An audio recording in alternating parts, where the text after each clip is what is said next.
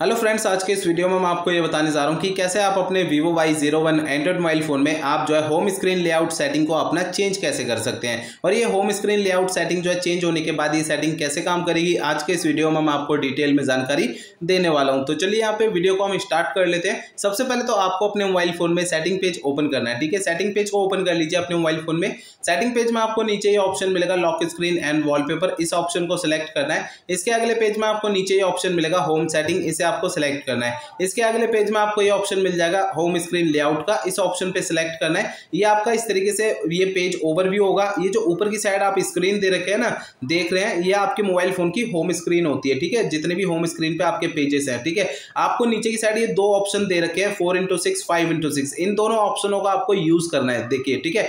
तो यहाँ पर देखिए, आपका इन दोनों में से किसी भी एक ऑप्शन पे पहले से सिलेक्टेड होगा। जैसे मेरा फाइव इंटू सिक्स पे, ये ये ब्लू कलर की लाइन बनी हुई है इसके चारों ठीक है?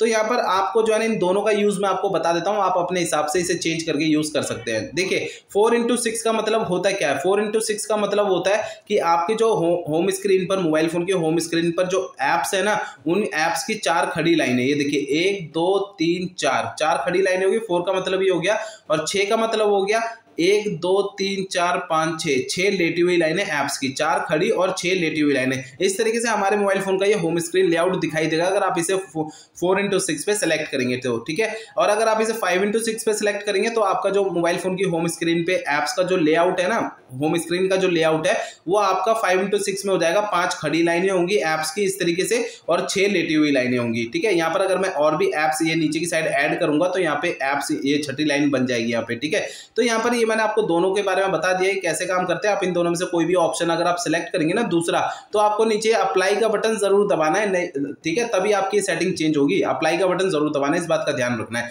तो इस तरीके से आप अपने मोबाइल फ़ोन में होम स्क्रीन लेआउट सेटिंग को आप चेंज कर सकते हैं।